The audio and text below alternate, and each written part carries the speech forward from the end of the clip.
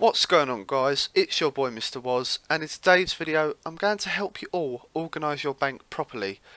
And I'm going to show you a few tips and tricks in order to make your bank look nice and organised and just make banking so much faster and easier.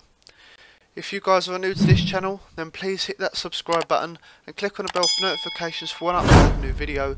So without further ado, let's get into this video.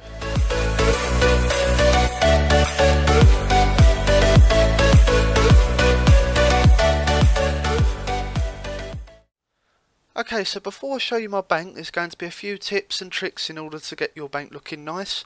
So first of all, we've got the Wise Old Man, Incinerator, Placeholders and Tabs. Okay, so now I'm going to show you my bank. Now, this is the main bank tab, and as you can see, it's very, very minimal. It's not full up with a load of junk. But this tab don't matter too much, but it is nice to organise. So you can see I've mainly got my cash stack at the start, then you've got your collection log and a few other bits and pieces. Got a little farming tab going there. Got me void, full graceful, and a few little bits and pieces. Like I said, this tab don't matter too much, but it is nice to sort out. So um, what I'm going to do now is show you my tabs, and then afterwards I'm going to show you the points I made earlier and how to use them, etc. So, the first main tab is the pot tab, which is my favourite. As you can see, it's very well organised, and all I've done is made um, these pots into four doses, three doses, two doses, and one doses. It is nice to have your pots in a certain order, so that you've got Sara brews and restores. Obviously, you need them together to make them work. Next to my restores, I've got my prayer pots, because obviously restores and prayer pots are pretty much the same. Uh, extended anti-fires, super extended anti-fires, as you can see, they're all grouped together antidote, super anti-poison, they're all together so it just makes life a lot easier. Anti-venom, anti-venom plus, you can see where I'm going with this. So this tab is probably the easiest to sort out. Now, you can have these in any order you want. So like I've got my pot tab, my food, melee, range, mage, but you can swap them around and all you've got to do is drag. So if you want this as your first tab, you just drag this to your first one and let go and you've and you've pretty much done that. So I'll just show you if you want. The first tab there you go. And you can just switch. It's not a problem. So the next tab will be my food tab. Obviously this is quite a minimal tab because you don't need to have too much here. So what I've done is had my cooked food and below my raw food. And if you haven't noticed I've done this in a way where it's from the highest healing food to the lowest. So I've got anglerfish, manta rays, sharks, karambwans, monkfish, etc. So that's my food tab. Now the next one is my favourite tab, my melee tab. Now this might be a little bit confusing but I'm going to show you how I did this. Now first row I've put my helms in a certain order so I've got my face guard, got my slayer helms and dwarven helmet and I've got my capes as well so I've done like best till last, uh, best till not the worst shall we say, there's only one extra cape. Amulets, I've done best to worst for that one, so you've got your torture's number one, then you've got salve amulet, dragon bone, etc.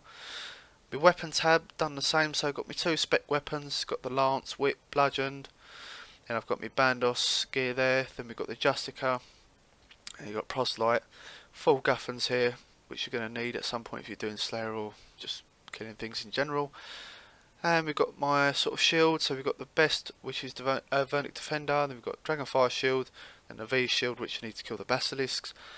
Got my boots uh, the blessing amulet and gloves. So if you want to copy what I've done here no no problem. Go for it. If you want to pause the video not a problem. And that's my melee tab. So the next one is going to be ranged. Now you're going to see a little um, repeat repetitive stuff here. So you've got the helm cape uh, amulet as you can see on the other one helm cape amulet. It's nice to have things in a certain order so it just makes life a lot easier when you're banking. And obviously the weapons we've got dragon hunter crossbow then we've got blowpipe underneath we've got the cannon a few bolts and arrows here which we're going to need. So obviously need these for the um, blowpipe these for the dragon hunter etc that if you're doing clues or if you want to do DKs so we've got the full armadyl here um, we've got the Shayzien armor if you need to kill shamans. Got a couple of shields here for the range. So we've got buckler and crystal shield.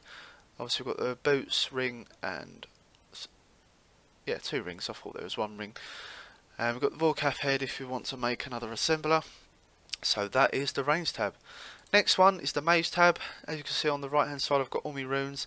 Now it's nice to stack up on your runes. It saves you going to the G every 5 minutes to buy some more. So make sure you buy quite a few of everything.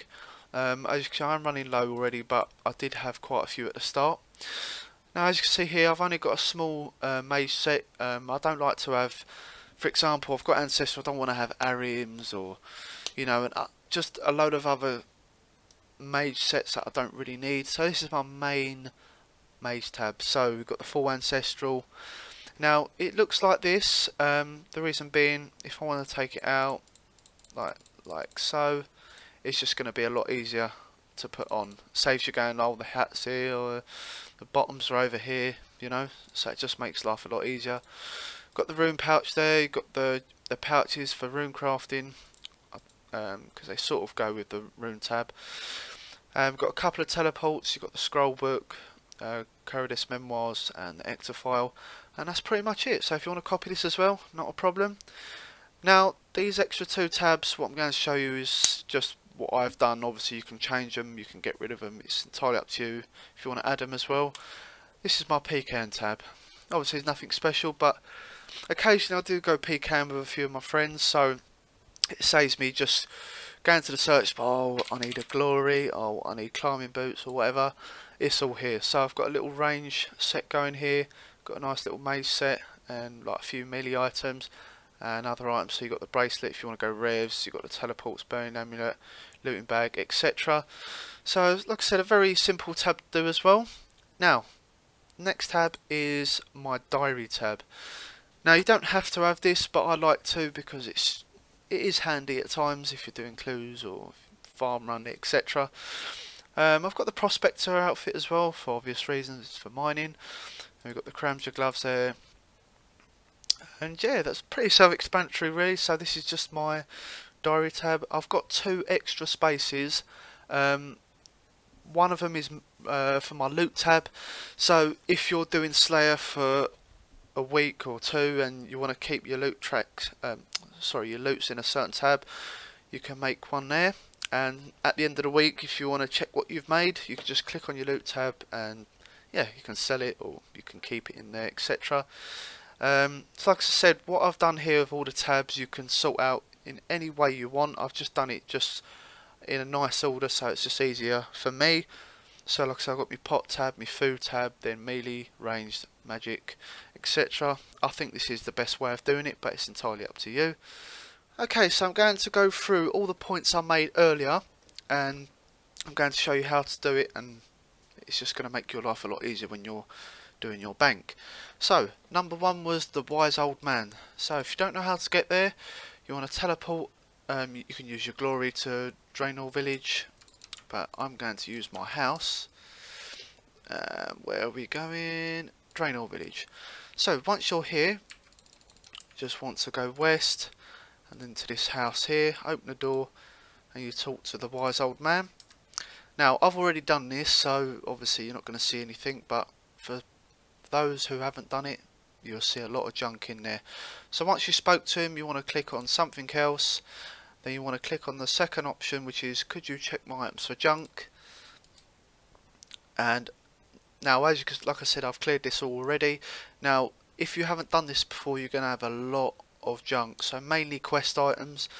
Um, you're going to have three members and all. Make sure it's on all. Um, once you're here, you want to click on remove all. And if there's a bit more dialogue, just follow the dialogue and it will all disappear. And that is pretty much how it clears most of your bank. Um, because like I said, when I had uh, my bank before I sorted it out, as you can see it's 816 like maximum amount of items and mine was pretty much full so doing this got rid of so much and it was a really big help okay the next tip is going to be the incinerator now this is on the bottom left of my bank now this is a lifesaver um, for example so say if you want to note things that you want to drop so say if I've got like I've got 11 seed dibbers you want to note them and as you can see you can just easily drop them all in one go. But with certain items um, that are like untradeable or certain items you actually can't drop noted, um, I'll give you an example. You've got the light orbs. That you can't note and drop all at once. You have to sort of take them out and you have to singly drop them. Or you've got the volcanic sulfur, whatever it's called, that you need for the Lovakengj uh, favour. You can't note that and drop it. You have to do it manually. And with this incinerator, all you've got to do, uh, let me do an example on one of the items. Uh, I'm going to do it with the spirit sapling. It's not a problem. I've already got some. So you want to drag into your incinerator. Don't worry if your, the tab scrolls up, but you drag it into the incinerator, and it will say what you've put in there, and it says, "Are you sure you want to destroy all of them?" Actually, I'm not going to destroy it because I need it. And all you've got to do is click on destroy, and it disappears. It's simple as that. And like I said, it's mainly for the stuff that's untradeable and stuff that you can't note to drop. You just drag it in there, and this is just a lifesaver. Now, the third one is placeholders. Now, I think this is the number one most important thing to keep your bank looking perfect at all times. Now, I'm going to just go on my Melee tab just to show you. Now, as you can see how I've organised this, if I didn't have a placeholder, I would I would have to take one thing out, and when the bank's closed, like the cape will go to the first slot, if that makes sense. But having a placeholder, all you got to do is click on it and it, as you can see it's off now just click on it and when you've took a few items out as you can see it says zero but it's kept in that same place. So say if you was doing your task you can wear it go back in your bank and as you can see it's still there. You can just deposit it all and there you go. It's in the exact same spot where you left it. It's just so so handy and it's just a lifesaver. Okay so this is what I mentioned earlier and that's tabs. So what I mean by this is you can have your tabs in a certain order. So like I said, I've got my potion tab, my food, melee, ranged, magic. Um, I've got these in a certain order for obvious reasons. It just makes life a lot easier. So yeah, like I showed you earlier when I was showing my bank, having these sort of tabs in a certain order just makes life a lot easier. Okay, so one thing I forgot to mention is this rearrange mode. Now you've got swap and insert. Now the reason why there's a big difference between these two is inserting things can move your items all over the place. So I'm going to do it just for the purpose of this video. So say if I wanted to move my shield over to where my capes are with insert mode, I'll just show you what happens. As you can see, everything just got a bit messed up. So look, my Justica's moved over, the capes moved over, over. Let me just move this back. But with swap, if I do the same thing, only the two items that you swapped move. You see? So look, insert. See what I mean? See how messed up it gets? So yeah, having swap just makes life so much easier. See what I mean? See what happens when you click on insert? So yeah, have it on swap and it will just make your life a lot easier and it'll make your rage so much less because when I was doing this with insert it just took me forever like, like I said, as simple as a rain, uh, potion tab, having it on insert is just so aids. And just like I said, having it on swap just makes life a lot easier.